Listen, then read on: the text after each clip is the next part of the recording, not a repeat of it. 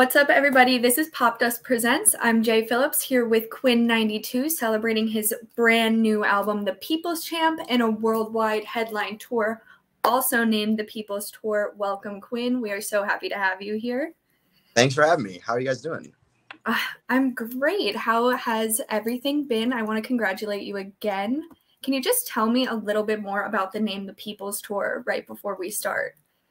Yeah, I mean the People's Tour. I mean it's kind of uh, it, it kind of derives from the People's Champ, the album mm-hmm. title, and I was making this album this year, and the goal was to kind of just like not make an album with.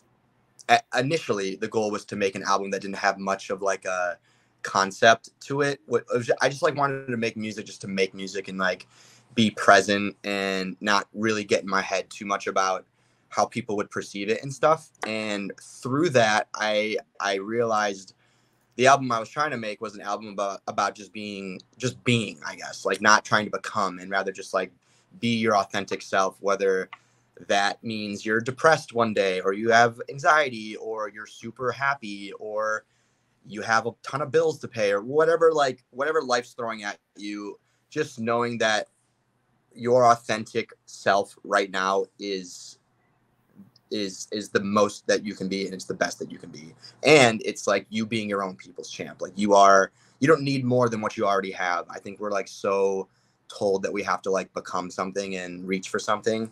And we really overlook that ourself is like who we've always wanted to be. Um so not to get super deep already but yeah i think like that was the motivation for the album um, which I realized probably months into making it rather than at the beginning, which is kind of ironic.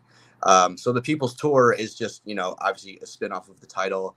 And um, I just, yeah, I'm just trying to preach to people that like, you know, you don't have to become anything you're already not. And uh, what you already are is, is pretty, pretty special. So yeah, I'm the people's champ. You're the people's champ, Jai. Everyone's their own people's champ. So just embrace We're it. all people's champs at the end of the day. Definitely. Yeah. Um, I did notice that like a lot of the songs on the people's champ, it stayed true to your original sound and everything that like it reminded me of songs like Another Day in Paradise or Kings of Summer, like all of those types of music that we've grown up like loving Quinn for. So how do you um, find a balance between staying true to your sound and making an original track? Yeah, yeah. Well, thank you for saying that. By the way, um, I I think, I think for me, like my, I don't ever approach. I don't ever like when I'm making a song, and like you mentioned songs like Kings of Summer and Another Day in Paradise. Like, I I think those are classic songs that are like embedded in my like DNA for like how I want music to sound.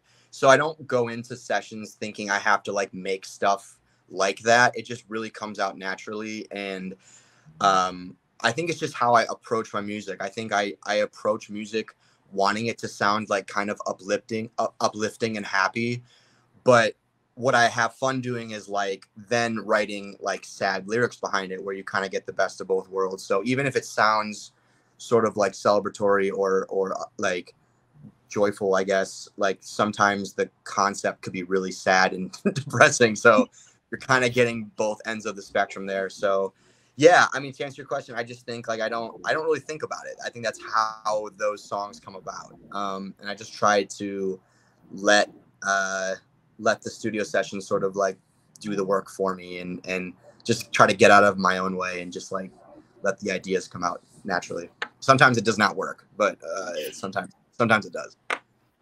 Yeah i think it like it really shows on your album how much thought you put into it, but also just the upbeat summertime vibe I get from your music always is mm-hmm. really present. But you've also collaborated with a bunch of fun, exciting people on this new album. You've got AJR, Big Sean, Chelsea Cutler. You've notoriously collaborated with big names across all genres. Is it difficult to collaborate those different genres and keep your overall sound, or do you find like a balance in between there? It's it can be it, can be like a little tricky i would say. Um i wouldn't say difficult but tricky in the sense of like you still like working with big sean for example i wanted to still make sure i wasn't compromising myself in sounding too like hip-hop influenced for example because he's a rapper or working with ajr i wanted to make sure i still felt like because we actually have similar music i would say but I still wanted to make sure I did everything on that song that sounds like me rather than sounding like them. Um, it, yeah, so it is. It sometimes can be tricky, but for the most part, I think like I love collaboration because I want to work with people who can add things to my music that I personally can't do. So like someone like Big Sean has an amazing way of rapping and has a great voice. Like I I can kind of do that, but I would rather go for like who I think is a professional and and I have more trust in him, or someone like Chelsea who has like a really soft, delicate voice and has the female perspective on like life and can relate to a bunch of girls and where I can't. You know, it's like finding people who can just facilitate those needs for a song that I want, but I can't do it myself. And so I think that's what collaboration, what makes collaboration so special. Um, but you know, I just similar to my last answer though about like making songs. I try not to get in my head about like like sounding like I'm someone I'm not when it comes to collabs. I just try and like just do what comes natural and I trust that the people around me and like my management will be like, okay, you kind of sound different in this song. Like let's mm-hmm. let's pull it back a little um, yeah, so I just I try not to think about too much. Yeah, it's definitely important to like have those people you trust around you to keep you in check, of course. Uh-huh. Yeah, I, I I I don't know what I would be doing if I didn't have like a team. Yeah. So yeah. Um, yeah, I, I feel like I always trust my friends to tell me if like my writing is it sucks completely or like if something I did was not good whatsoever, I want them to tell me. So I mean seriously um, just to like touch on that again, like I think that's something like in any environment is really important but for me like you know being in like the music industry where it's kind of slimy and like and i'm in la too where it's you don't really have like like genuine friends are not necessarily like what la is meant like like yeah.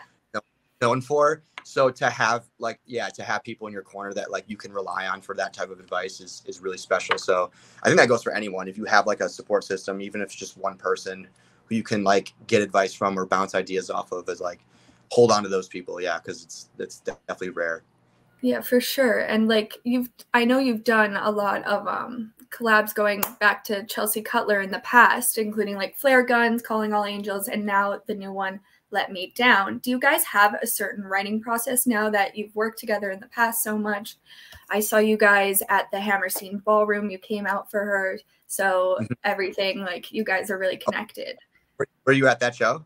I was at that show. Yes. Oh, that's that was so fun. Yeah. yeah. Um, I think what was your? I'm sorry, I cut you off. What was your question? um, just what's your writing process like now that you guys have worked together like so many times yeah. in the past?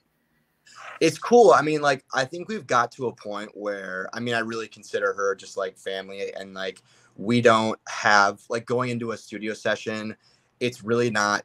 There's literally no pressure. If if we wanted to just like get food and come back and like talk for three hours like that would be totally fine. And, and if a song comes out of that somehow like great. Um i i think yeah i think and and she's not the only one. I have a few friends uh, like similar that i can be vulnerable like that with. But in the case of chelsea yeah it's just like i don't know. Sometimes we have a very deliberate idea of what we want to make and and whether that's texting her an idea or we'll be in the same room together um, other days it's just very nonchalant, and we try and just, like I said, like let the ideas sort of flow naturally. Um, but there's not like a formula, I guess. I guess like songwriting really doesn't have like an A B C D E F G like type of equation. It's more how do you just capture an idea when it comes and like kind of like harness like lightning in a bottle and then run with it once you get it. Um, and uh, sometimes that comes from like a lyric sometimes that comes from a cool melody or a conversation you're having with someone or a sound that you hear outside. Like it could be anything. So that's what makes it really exciting and fresh. Um, but with, with people like chelsea it's nice because you don't have to worry about like how do i look or like what do i yeah. sound like an, right? Like what am i saying? You know it just takes the takes the pressure completely off which is which is nice. Yeah it's good to have like a judgment free zone where you can just create. Totally. Totally. Um, so if you had a like, if you could collab with anybody in the music industry right now, who would it be? Um, I was just, literally just saying to somebody else, like I have like I've always had like a wish list of mm-hmm. like I want to work with, but Um, a couple artists that come to mind are I, I, would love to work with Jack Johnson. I'm just a huge fan of his. Uh, I would love to work with Chance the Rapper. I think that'd be amazing. Um, I don't know. Norah Jones is an artist that I love and really respect. Um, Kid Cudi. Uh, I don't know. There's like, I it's one of those questions when I get it. I, I I say this all the time. I'm like, I could sit here for hours and just like talk about people I look up to and want to work with. But uh, those are a couple of names that always come off the top of my list. Yeah. I mean, already with that like list, it's great playlist. If you just yeah, I know down the line. so no, I'm in. All right, cool. Um, yeah, I'll, I'll, work on that. Yeah. yeah, that's next. Um, yeah. yeah. But speaking of Big Sean, I know he is a fellow Detroit native of yours. Was he uh-huh. somebody you had always wanted to work with, or did you always have like this little inkling in your mind, like we're from Detroit, we need to do this, like just for the sake of doing it? I mean, both. I would say yes to both those uh, answers. Like I, I mean, grew up listening to him like in high school and college, and all my friends. That's like all we really played um, at like college parties and in our dorms and stuff. So yeah, like Big Sean was always someone I wanted to work with, but I always I always felt like our paths would cross again because we're like you said we're both from the same area and uh and yeah, it just kind of happened. It actually the song came about because my we have a business like I have a business manager who's the same business manager as his, so um, he actually connected us and uh, got us in touch. So I never thought like that is how we would end up meeting, but um, but shout out to Josh, my business manager, for making that happen. And uh, yeah, I mean, just an artist I've always respected and always kind of knew that maybe one day we would work together or at least meet. Um, but I'm so happy I finally got to like check that one off my my bucket list because uh, just again an artist I really respect and he, he's a great guy and um, and yeah, he's he's he's it was it was a really cool experience. Yeah, I would say that your song with Big Sean as well as a few others like Bartender and FOMO, I feel like yeah. they're all like those would be my top three on the album so far. So what are your top three songs on the album? Oh, amazing. Thanks for saying that. Um, I, I think some of those are definitely my favorite. I think FOMO's up there.